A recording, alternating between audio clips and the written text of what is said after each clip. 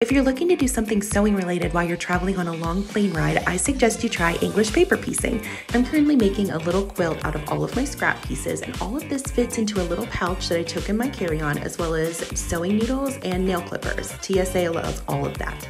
I made these six little hexies while I was flying, and I taught my daughter how to make a four patch square. She was really excited to have something to do as well.